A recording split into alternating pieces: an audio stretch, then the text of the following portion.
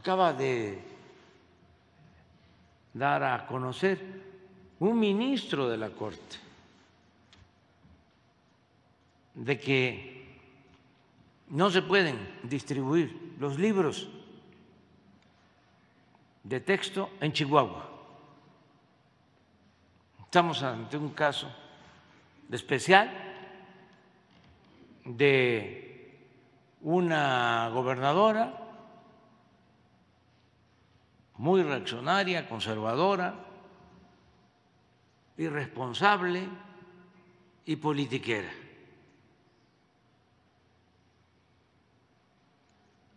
que presenta una controversia para que no se entreguen los libros a los niños, a los estudiantes en Chihuahua, y un ministro deshonesto ordena que no se distribuyan los libros, buscando dejar sin libros de texto a los niños y a los estudiantes de Chihuahua. ¿Qué vamos a hacer? Pues vamos a respetar esa decisión, aun cuando es facultad del Poder Ejecutivo Federal la elaboración, la distribución de los libros de texto. Es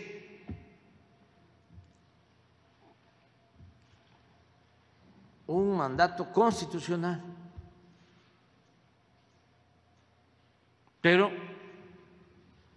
vamos a detener la distribución de los libros de texto en Chihuahua.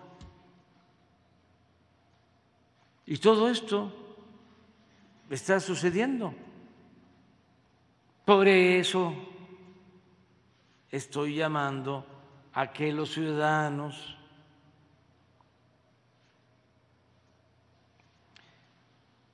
piensen en que hace falta seguir avanzando en la transformación del país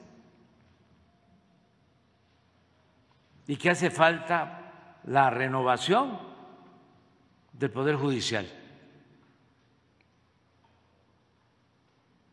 Que lo mejor es que jueces, magistrados y ministros sean electos por el pueblo, no por la cúpula de poder económico, sobre todo,